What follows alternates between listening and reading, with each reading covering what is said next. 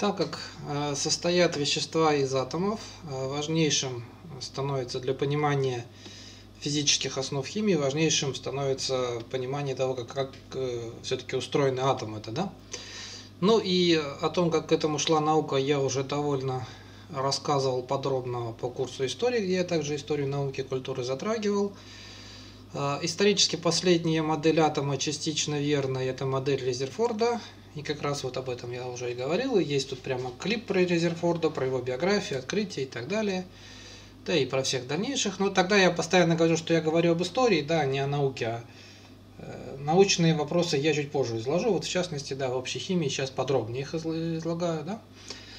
А, значит, Резерфорд в опытах по рассеянию альфа-частиц показал, что почти вся атом, масса атома, она вся сосредоточена в небольшом объеме, который находится в центре то есть планетарная модель. До него думали, что все-таки примерно распределена равномерно масса атома. Ну и вот модель планетарной Резерфорда, вкратце ее, в общем-то, еще в начальной школе, я думаю, всем объясняют, да, что у нас в центре атома положительно заряжено ядро, вокруг него вращаются электроны, причем э, число электронов таково, что атом электрически нейтрален, да, то есть какой положительный заряд ядра, столько же электронов вокруг него вращаются. А, ну, Принципиально это значит все верно, э, хотя с существенными поправками. Ну, например, такие поправки, что это не шарики, так сказать, они не подчиняются механическим законам. То есть не, не подчиняются тем законам, таким, как если бы это просто были шарики, допустим, заряженные. Ядро имеет диаметр где-то 10 в минус 15 метров. Положительный электрический заряд э, огромной плотности. Плотность массы ядерного вещества – в 10 в 15 степени раз больше плотности всего вещества. То есть оно там прямо сверхплотное, прям сильно сосредоточено там все. Вот. Плотность ядерного электрического заряда тоже намного превышает плотность заряда э, вещества в целом, порядка 10 в 15 степени к одному. Э, величина заряда электрона 1,6 умножить на 10 в минус 19 степени кулон. Ну и они полностью уравновешивают. Вот получается, значит, заряд электрона обычно – условно говорят минус один, да, а число протонов просто считают. То есть вот говорят, что, ну, допустим, атом гелия, там два протона, то есть плюс 2 заряд и, соответственно, два электрона. А, вот. А, ну, принципиально говорю, вот то же самое, однако любые расчеты показывали, что если вот так бы все было, то электрон в результате его ускоренного движения, он расходовал бы энергию Э, электростатического взаимодействия с ядром, и через 10 в минус 8 степени секунд электрон бы упал на ядро. То есть вот эта модель Резерфорда, она хорошо экспериментально подтверждалась, позволяла даже вычислить, какой там заряд у электрона, какой заряд у протона, э, какая у них масса, но она все равно ничего не объясняла, потому что по всем законам физики он в очень быстрое время электрон бы просто упал на ядро и никак бы там не вращался вокруг него. Кроме того, она не объясняла спектр Э, атома водорода хотя бы. Вот согласно модели Резерфорда, энергия атома непрерывно уменьшается за счет излучения, то есть был бы сплошной спектр излучения. Однако было экспериментально установлено еще во времена Резерфорда, что все атомные спектры имеют дискретный характер, то есть на них линии, линейчатый спектр. Ну и вот самый простой это спектр атомарного водорода. В видимой области спектра атома водорода четыре линии, которые там называются красный, голубой и так далее, потому что проходят через красную, допустим, зону. Дальше там есть невидимые области, там еще несколько линий. Вот образуют они серию, это потому что дискретная энергия. Ну, вычислили, допустим, волновое число, то есть число волн, которые соответствуют этому спектру, как, как они зависят от длины волны, есть соответствующая формула, которую приводить не будем. Есть такая постоянная Ридберга, допустим. Вот. Так или иначе, а, обнаружили еще, значит, да, в дальней ультрафиолетовой инфракрасных областях тоже несколько серий линий, и для них получили тоже волновую формулу, то есть волновые числа, как э, получили формулу, как зависит от, э, допустим, от постоянной Ридберга, от длины волны, как зависит число этих волн и от определенных целых чисел. Ну ладно, серии этих линий нашли также и спектр атома всех других элементов – и оказалось, что там еще все сложнее, чем спектр атома водорода. То есть, допустим, для спектра атома железа 5000 линий. которые тоже серии, и там для этих серий получили формулы, и все очень очень сложно. То есть там 5000 линий получается, для них разные самые формулы, которые еще друг на друга накладываются. А, и тут нужно обратиться опять же к клипу о Планке, я рассказывал, то там Макси Планке, о нем тоже есть клип. И вот Планк, чтобы объяснить именно вот такое устройство спектров, где линиями, где линии наблюдаются, да, он как раз и предложил теорию квантов о том, что энергия не излучается атомами непрерывно, а испускается мельчайшими неделимыми порциями, то есть кванты. И величина э, этих э, квантов зависит от частоты излучаемого света. То есть энергия кванта равна постоянная планка умноженная на частоту колебаний. А частота колебаний – это отношение скорости света к длине волны. Ну, это вот уравнение Планка, я его даже просто, так сказать, словами беседую, что оно простое. E равно h на ню, да? То есть просто постоянная планка определенная умножить на частоту колебаний. Уравнение Планка является один из основных законов природы а, сейчас. И получается, что энергия тела может меняться на величины, кратные только вот этому вот э, постоянный планк, короче. Кратный постоянный планк. А, подобно тому, как электрический заряд может меняться только на величину, кратную заряду электрона. Что получается? Значит, свет тоже состоит из каких-то вот что-то типа частиц. Атом выделяет одну порцию энергии, так грубо скажем, вот, и переходит при этом из одного энергетического состояния в другое, потом другую порцию и так далее. То есть энергия порциями, они непосредственно. Э, все вот эти многочисленные противоречия, которые накопились в физике примерно в нулевые годы, э, и потом уже открытие Резерфорда 1912 год, были разрешены, считается Нильсом Бором в 1913 году, а частично разрешены – когда он предложил теорию строения атома водорода, более-менее объясняющую и спектр, почему электрон не падает, и то, что Планк, о чем говорил, что она э, энергия порциями излучается, да? Значит, э, Бор говорил, что э, в электроне есть некие индивидуальные устойчивые орбиты, по которым электроны всегда движутся. Пока электрон находится на этой орбите, он не излучает энергии. Вот это очень важно, потому что потом эти самые орбитали, как раз с помощью их и будут объяснять все химические свойства, то есть в настоящий момент. Все химические свойства этими самыми устойчивыми положениями электрона объясняются. А, значит, э, если длина круговой орбиты э, с радиусом r равна 2πr, да, по формулам обычным, то условие устойчивости орбиты заключается в том, что э, некая n которое просто вот число натуральных чисел n это 1, 2, 3, 4, 5 и так далее. Некое n умноженное э, на э, длину волны электрона равно 2πr n. Да? Rn это радиус орбиты, на по длине которой укладывается n длин волн. Ну, короче, значит, просто устройство атома задается числами 1, 2, 3, 4, которые, подставляя формулу, э, в которой присутствует 2π, потому что оно по кругу, да, а также радиусы орбиты, мы вот подставляя все это, мы получаем значит, определенные уровни а, длины волны электрона. Вот, да. Радиус самой маленькой орбиты атома водорода называется Боровский радиус, то есть самый маленький радиус, и было получено его значение 0,53 нанометра. Радиусы всех других орбит это вот число n, число n это значит 1, 2, 3, 4, 5, умноженное, значит, возведенное в квадрат и умноженное вот на это 0,53.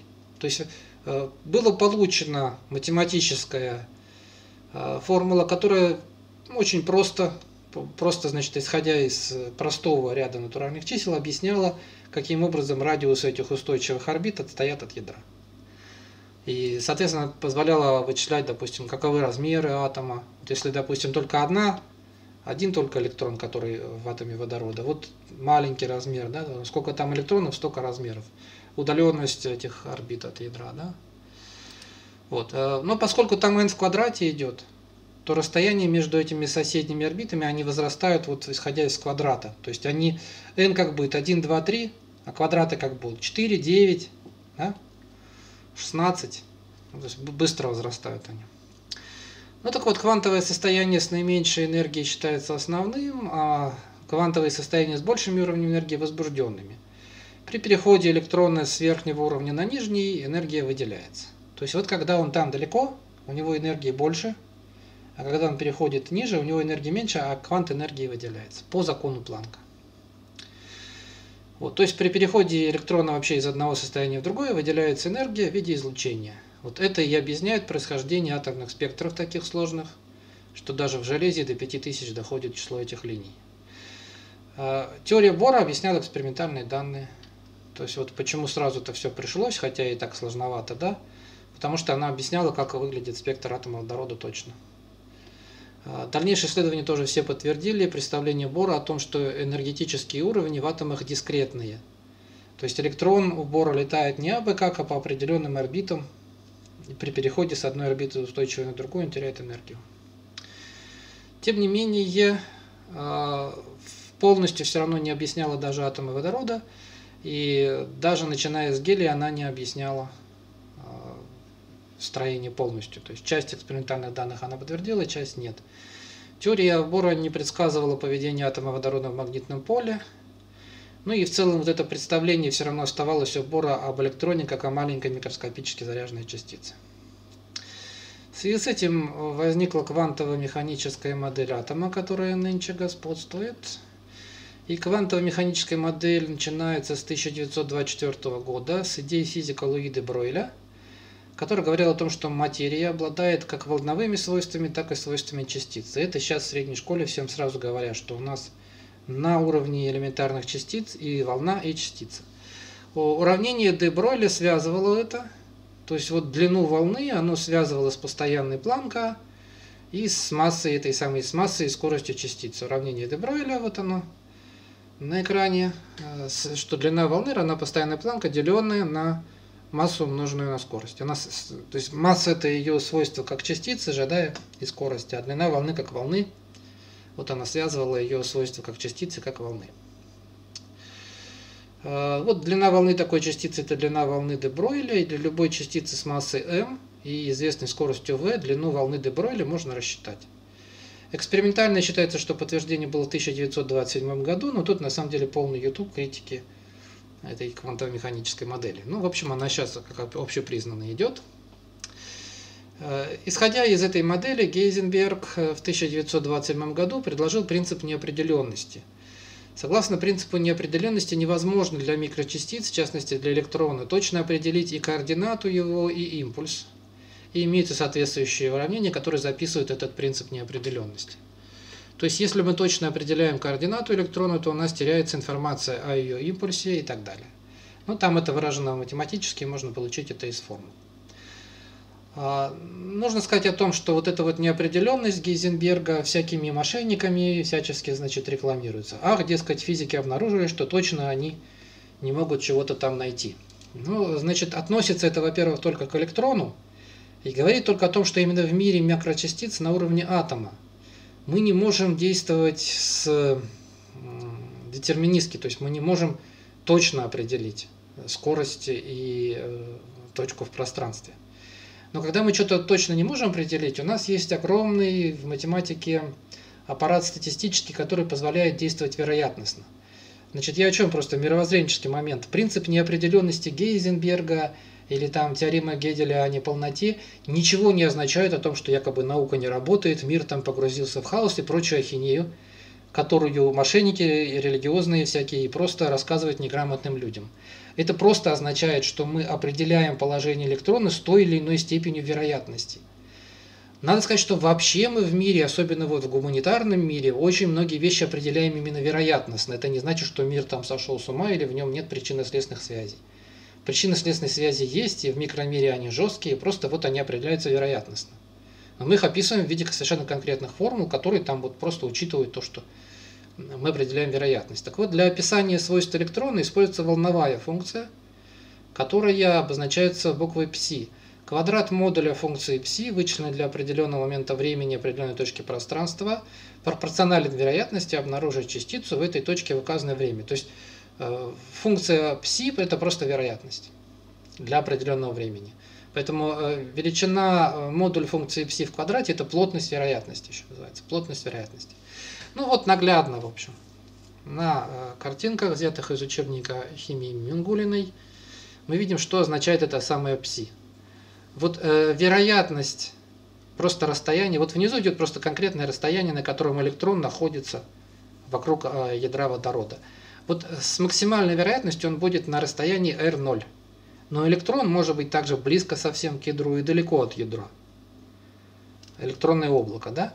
Так вот, э, с помощью функции psi мы определяем наиболее вероятное расстояние, а также можем и всю плотность мы определить. То есть, с какой вероятностью он будет, допустим, не в точке R0, а в точке R он будет. Или в точке 0,1 нанометра, с какой вероятностью он будет и так далее. Вот. Значит, получается, да, действительно у нас облако. Электрон может быть в разных точках, но наиболее вероятно вот в одной точке. Также есть граница облака, то есть за каким расстоянием он вообще не может быть. Вот. Э, мы ее рисуем вот в виде такого вот графика, как бы уже для точного определения, но мы можем нарисовать ее графически в виде облака. Вот они пошли эти орбитали, которые, я думаю, на уроках э, химии вы все видели. А, вот 1 и 3 – это то, как обычно рисуют. Это просто все точки, в которых он может быть, и там также есть точки, в которых он может быть с максимальной вероятностью. А, чем больше величина вот этой вот э, плотности вероятности, тем больше вероятность нахождения электронов в данной области атомного пространства. Так как он там не движется жестко по этой орбите, и это не круг, а вот такое вот облако, вместо орбиты называют орбиталью. Орбиталь это просто волновая функция. То есть орбиталь это просто вероятность его нахождения в точке пространства. Однако орбитали очень важная вещь, и дальше вот я дальше буду химию излагать, и будут одни орбитали. Все химические свойства будем объяснять, из, исходя из структуры орбитали, их формы и так далее. А, в квантовой механике получили уравнение, которое математически описывает электронное строение атома в трехмерном пространстве. Это называется уравнение Шрёдингера – и оно связывает, собственно, постоянную планку, массу какой-то частицы, ее потенциальную энергию, полную энергию, координаты и ее волновую функцию. Решая уравнение Шрёдингера, мы находим волновую функцию. Я не привожу его, это оно громоздкое, можно загуглить. Тем более рассчитывать по нему ничего не собираемся. Вычисления по уравнению Шрёдингера довольно сложные. А, требует знаний высшей математики, кое-какие разделы высшей математики впереди мы будем рассматривать, но правда те, которые имеют отношение к лингвистике. Лингвистика там дискретная все-таки математика. Так что, короче, математический аппарат, нужный для вычисления э, уравнения Шрёдингера, скорее всего, мы рассматривать не будем, так что, в общем, я его и не привожу. Но знать его надо, в частности, вот мировоззренческие выводы какие, что уравнение есть, которым описывается электрон, так что нечего говорить, что, так сказать, электрон движется хаотически. Не хаотически движется по определенным функциям, просто эти функции, они вероятностные, позволяют получать определенную вероятность, но не точное его местоположение.